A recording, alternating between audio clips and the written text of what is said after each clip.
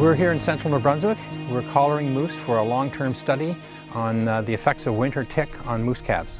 There can be up to 100,000 of these critters on a moose. So when they come on in the fall, they're tiny, the size of a, a pinhead. And by April, they're the size of your top of your, of your little finger. And with uh, 50 or 60,000 of these on you, they're literally sucking the blood out of the calf moose who, who really can't take it. Not enough body mass, not enough blood, and it succumbs to uh, blood loss. So this is a big project. Um, it involves four capture sites in Quebec, and uh, we're the southernmost one in New Brunswick for a total of five. And over the course of the five-year experiment, uh, we'll have close to 500 collar captures and recaptures. As far as partners go, uh, our major partners are the University of Laval, uh, University of New Brunswick, the uh, Quebec provincial government, and of course JD Irving Limited. And in Quebec there's a number of other uh, partners associated with the project. The impact I hope to make with my work will be to identify the variables that are negatively affecting the moose movement. Uh, to identify whether it's only ticks or if it's land cover composition and climate as well. Are we making the landscape more friendly to ticks uh, by our forest management practices? And if we are, how can we change those to, uh, to prevent that? The main task for us this week uh, is to capture the animals. First, we capture them with the net gun. We throw a net from a low flying helicopters.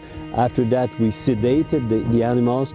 We are doing some measurement, blood sample, air samples. We even weight all these calves before fitting them with a collar. So we have plenty of biological data on these, on these uh, moose calves.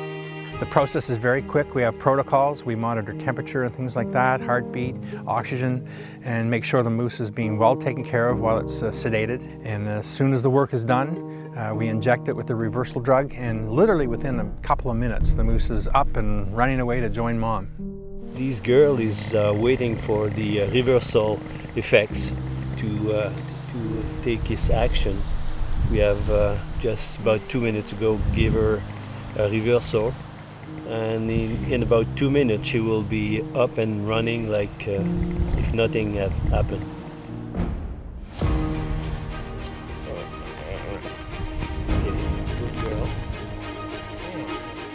It's always an happy uh, sight to see the, uh, the moose calf running away and trying to find a, a mother.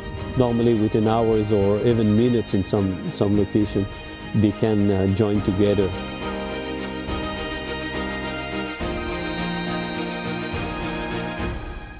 We consider the animals as one of our stakeholders. You know, there's the folks in the rural communities, there's folks that like to hunt and fish and things like that. Uh, and the animals themselves are sort of a silent uh, stakeholder in this, and, and our research gives them a voice. You know, it's just one of the things you have to do as a large landowner. It's your responsibility to look after the animals.